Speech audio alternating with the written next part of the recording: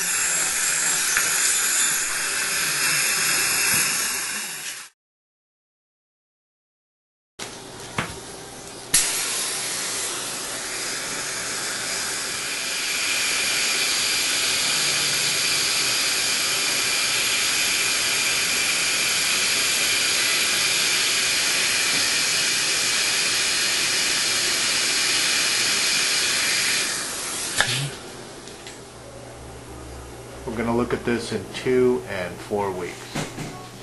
This is the five week post treatment of the laser GV, and I'm looking at this area between seven and eight, and there's just a little bit of extra tissue there that I, that I think we're going to just modify.